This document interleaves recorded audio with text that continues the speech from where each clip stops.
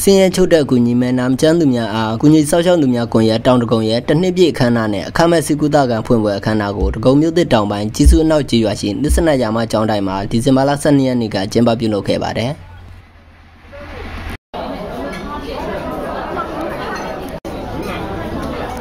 ခန္ဓာမှာသစ္စနာယမကျောင်းတိုင်းဆရာတော်မှာတက်ရောက်လာလူများကိုဩဝါဒတရားဟောကြားခဲ့ပြီးနောက်စီကံကိုဖွင့်လှစ်ခဲ့ပါတယ်။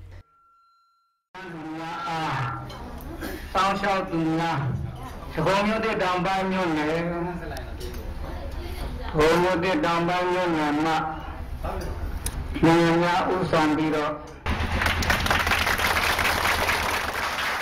ဒီခန်းတော်မှာပြည်သူ့အကျိုးပြုမိအင်ရှင်အမေများကွန်ရက်မှလည်းစီးချင်အောင်တွေကိုလှူဒန်းခဲ့ပါတယ်ရတော်တော်တည်ကျွန်တော်တို့လေးတော့ဒီတော်ငိမ့်နေတော်ငိမ့်နေဒီတော့ဥပ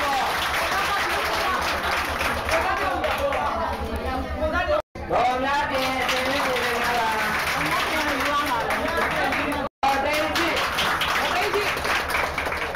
ဒီစီကံမှာစင်းရဲချွတ်တက်ပြီးစင်မကူသားနိုင်လူများကိုအနောက်တိုင်းစီအပြင်တိုင်းရင်စီနီးနဲ့ပါကူလွှတ်ပြီးတော့မှာဖြစ်ပါတယ်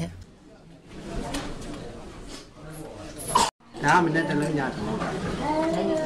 စင်းရဲချွတ်တက်နာမကျန်းသူများအားကုညီဆောက်ရှောက်သူများကွန်ရက်ကို2010ခုနှစ်ဒီဇင်ဘာလ12ရက်နေ့ကစတင်ဖွဲ့စည်းခဲ့တာဖြစ်ပြီးစင်းရဲချွတ်တက်လူတွေနဲ့နာမကျန်းသူတွေကိုအဓိကထားကုညီဆောက်ရှောက်နေတာဖြစ်ပါတယ်ခင်ဗျာ